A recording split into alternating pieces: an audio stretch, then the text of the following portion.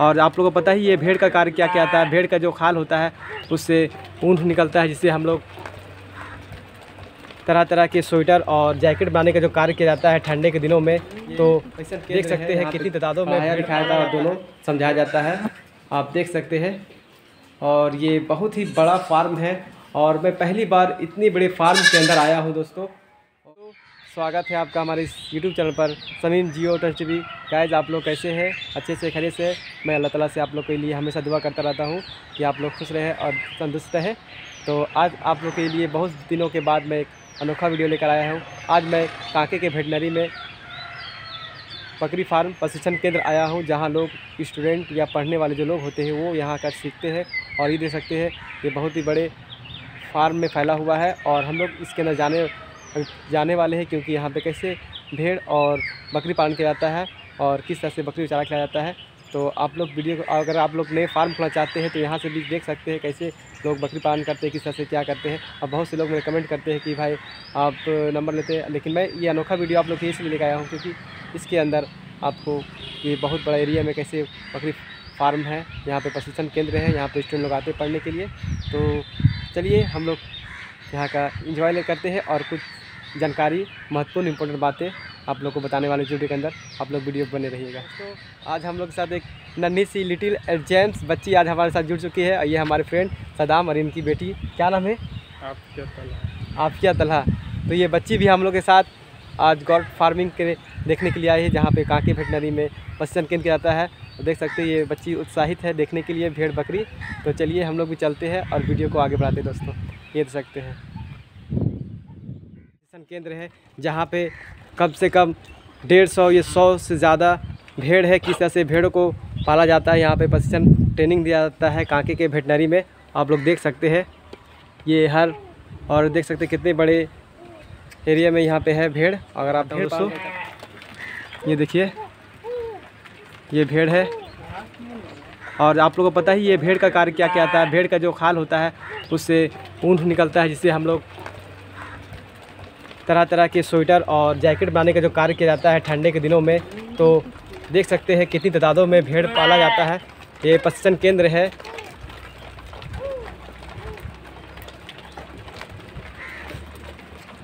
ये देखिए दोस्तों, और आइए आप लोगों को दिखाते हैं इस वीडियो के अंदर भेड़ लोग। ये देख सकते हैं दोस्तों, अगर आप लोग भी भेड़ बकरी पालन करना चाहते हैं तो आप लोग भी शुरुआत कर सकते हैं भेड़ पालन बकरी पालन।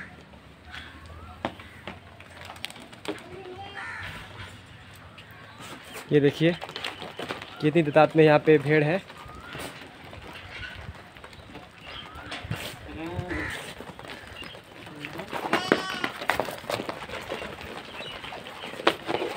ये लगता बीमार है दोस्तों, ये भेड़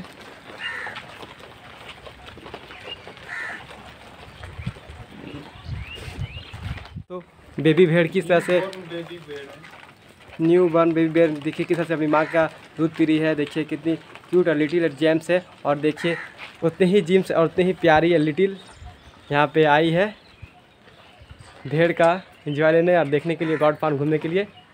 खेल सकते हैं।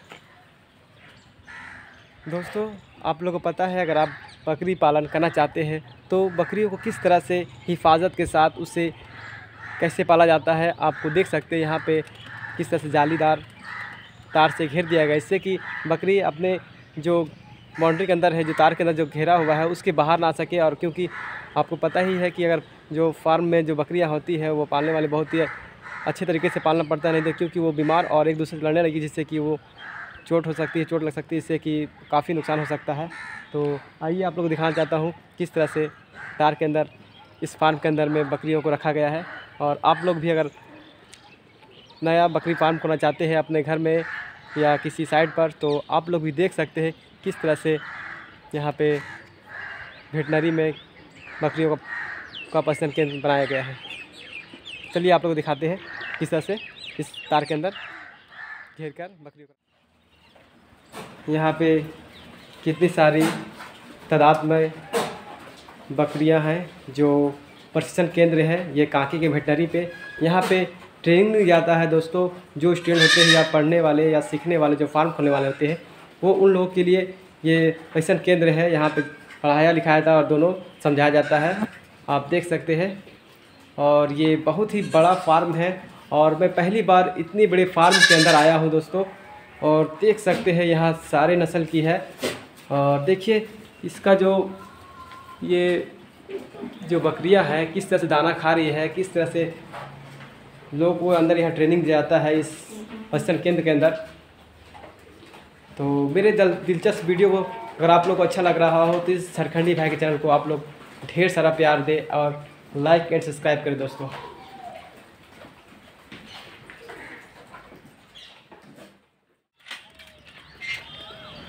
दोस्तों, यहाँ पे मेल और फीमेल को रखा गया है। आइए दिखाते हैं आप लोग को।